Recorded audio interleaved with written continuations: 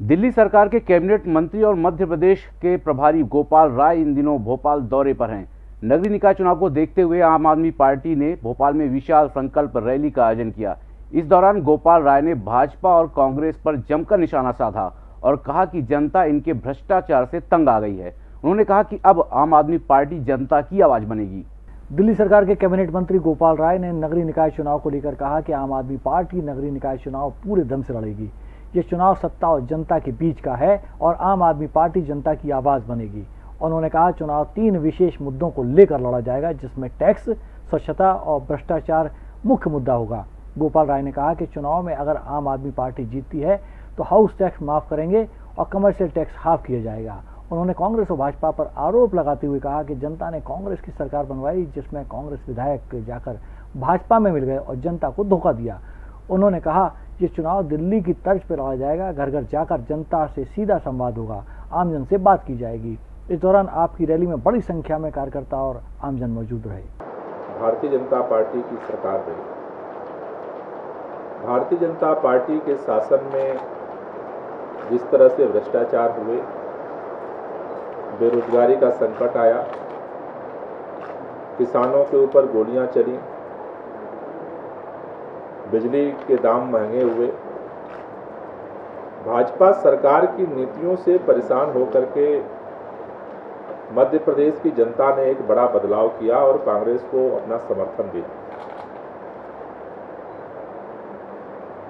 लेकिन मध्य प्रदेश के इतिहास में पहली बार हुआ है कि जनता ने सरकार किसी और पार्टी की बनाई।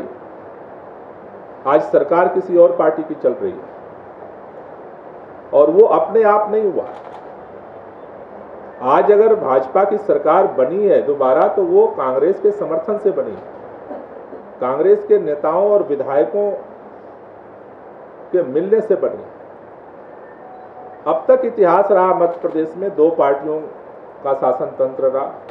कांग्रेस की सरकार रही, लोगों ने बदल के भाजपा को मौका दिया, भाजपा की रही, मौका दिया कांग्रेस को। लेकिन आज पहली बार ज्वाइंट फ्रंट सरकार चला रहा कांग्रेस के भी विधायक इसमें शामिल हैं और भाजपा के भी विधायक इसमें शामिल हैं, जिनको जनता ने चुना था।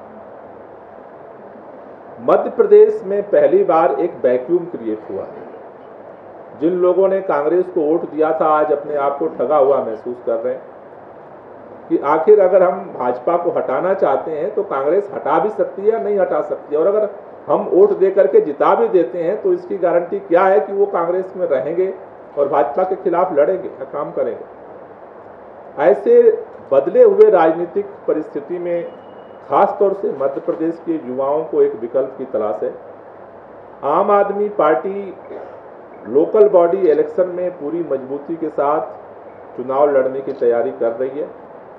और जैसा कि आप जानते हैं कि पहली पार्टी है जिसने अपने स्थानीय चुनाव के लिए अपने कैंडिडेट की पहली लिस्ट जारी की है। दूसरी लिस्ट के लिए हम तैयारी कर रहे हैं और जल्द ही आम आदमी पार्टी की दूसरी लिस्ट भी आएगी। संकल्प रैली और आम सभा को लेकर पंकज सिंह ने कहा कि उन्हें सभा करने की अनुमति में सरकार ने अड़ंग लगाया। कांग्रेस और भाजपा की लगातार सभाएँ हो रही हैं, लेकिन आपकी सभा में क्यों बाधा डाली जा रही है? उन्होंने भाजपा कांग्रेस को लेकर कहा कि ये दोनों पार्टियाँ वास्तविकता में एक ही हैं। उन्होंने कहा, नगरीय निकाय चुनाव में आप ताकत के साथ मैदान में उतरेगी। प्रत्याशियों की अगली लिस्ट भी जल्दी जारी की जाएगी। मध्य प्रदेश आम आदमी पार्टी के प्रदेश अध्यक्ष पंकज सिंह हमारे साथ हैं। कुछ सभाओं और रैली को लेकर परेशानी जताई है इनने ये हम बात करते हैं थोड़ा सा। पंकज जी, क्या परेशानी हुई भाजपा और कांग्रेस की रैली में? और आपको रैली का परमिशन या सभा करने का परमिशन नहीं दिया गया? देखिए, रैली की परमिशन तो हमें मिली है। हमारी आठ तारीख से लगातार कलेक्टर साहब से भी बात हुई। कलेक्टर साहब ने आश्वासन दिया कि आप जाइए, कार्यक्रम करिए चिंता मत करिए, कार्यक्रम बढ़िया होगा। हमारे पास पूरी फ़ाइल रखी है, सब जगह के अभिवादन भी है कि भाई आप कर लीजिए। लेकिन जो फाइनल परमिशन है, उसको लेकर कल परेशान किया गया, सभा की परमिशन को लेकर। तो ऐसी कौन सी दिक्कत है जब वहाँ पे, अस्सी फीट रोड पे, कांग्रेस की, भाजपा की, तमाम तरह के अन्य कब्बाली तरह कब्बाली तक के तो कार्यक्रम हो रहे हैं? ये सब कार्यक्रम जब हो रहे हैं तो आम आदमी पार्टी के कार्यक्रम में व्यवधान क्यों उत्पन्न किया जा रहा है? ऐसा क्या डर है आम आदमी पार्टी की रैली और सभा से, भारतीय जनता पार्टी को और शासन प्रशासन को? शायद गुजरात के चुनाव से भाजपा ने सीख ली होगी कि आम आदमी पार्टी? खैर, अभी गोपाल राय जी कैबिनेट मंत्री दिल्ली सरकार में हैं, वो आए हुए हैं, संकल्प रैली में हैं किन मुद्दों को लेकर आप अब आगे बढ़ेंगे? रैली में क्या मुद्दे रहेंगे? नगर निगम का चुनाव में। आज आम आदमी पार्टी शंखनाद करने जा रही है संकल्प रैली के माध्यम से, जिसका नेतृत्व गोपाल राय जी जो हमारे प्रदेश प्रभारी हैं, वो करेंगे।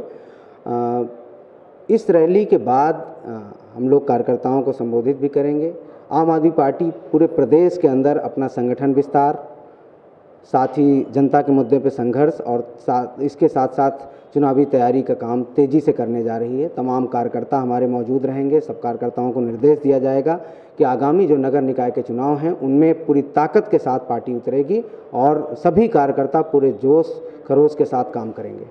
आपकी पहली लिस्ट जो नगर निकाय चुनाव में प्रत्याशियों की वो जारी हो गई। अभी और आगे भी लिस्टें जारी होनी कब तक जारी हो जाएँगी? आज पहली लिस्ट हमने जारी कर दी है, दूसरी सूची भी हमारी तैयार हो रही है।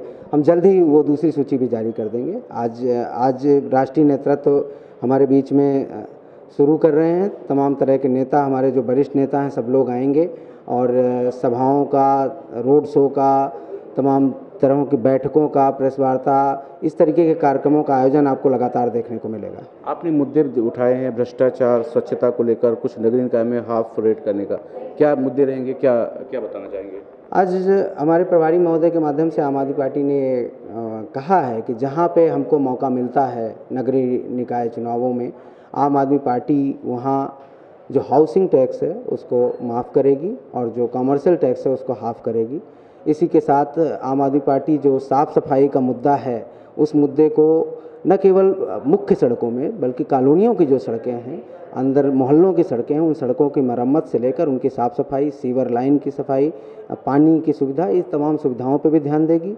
और जो तीसरी चीज़ है कि पार्टी प्रदेश के अंदर जो जनता के मुद्दे हैं जो छुटपुट मुद्दों को लेकर नगरीय निकाय क्षेत्र में कार्यालयों में लोग जाते हैं एक सर्टिफिकेट बनवाने से लेकर हर चीज़ के लिए उनको घूस देनी पड़ती है तो वो भ्रष्टाचार भी आम आदमी पार्टी ख़त्म करेगी ताकि लोगों को बड़ी राहत मिल सके और लोगों का शासन लोगों के द्वारा चल सके। आम आदमी पार्टी में देखा गया युवाओं को चांस मिला चूँकि आप भी एक युवा हैं प्रदेश अध्यक्ष हैं तो आप क्या चाहेंगे आम आदमी पार्टी में युवा आगे आए क्या संदेश देना चाहेंगे?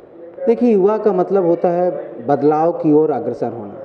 युवा ही किसी भी क्रांति को आप देखेंगे, कोई आंदोलन हो, उसको नेतृत्व देते हैं, वो जोश खरोश के साथ आगे आते हैं। तो जैसे मध्य प्रदेश के अंदर पिछले पंद्रह साल के शासन के बाद जनता ने कांग्रेस को एक मौका दिया कमलनाथ जी को के नेतृत्व में, लेकिन कांग्रेसी विधायक मंत्री तक जाके भाजपा की गोदी में बैठ गए। तो प्रदेश का युवा अपने आप को छला हुआ महसूस कर रहा है ठगा हुआ महसूस कर रहा। है आम आदमी पार्टी एक प्लेटफॉर्म प्रदान कर रही है कि आइए मिलके यहाँ मध्य प्रदेश में जो ये भाजपा और कांग्रेस की मिली जुली लूट चल रही है उनके साथ साथ मिलकर जो लूट रहे हैं प्रदेश की जनता को, उसको रोकें, यहाँ से भ्रष्टाचार को ख़त्म करें और यहाँ नई व्यवस्था दें, जिसमें सबको शिक्षा, स्वास्थ्य, बिजली, पानी, उनको, उनके बुनियादी हक मिल सकें, उनके अधिकार मिल सकें। तो ये थे हमारे साथ प्रदेश अध्यक्ष पंकज सिंह, जिनका साफ़ कहना है कि आम आदमी पार्टी युवाओं की ओर ध्यान दे रही है, चूँकि जनता ठगा महसूस कर रही है, इसलिए आम आदमी पार्टी युवाओं को और मुद्दों को लेकर चुनाव लड़ेगी। बहरहाल देखना ये होगा कि जनता इसको किस तरह लेती है? जनता किसको अपने सराखों पर बैठाती है? कैमरामैन तरुण यादव के साथ सत्यम शर्मा दखल न्यूज़ भोपाल। संगीत की स्वर लहरियों से सांस्कृतिक ताने बाने तक चंबल के पीड़ों से नक्सलवादियों के गढ़ तक झोपड़ी से महलों तक ठेलों से मेलों तक पगडंडियों से सड़कों तक गाँव से शहरों तक व्यापार से उद्योगों तक। राजनीति से कूटनीति तक। दखल न्यूज़ आपके हक में।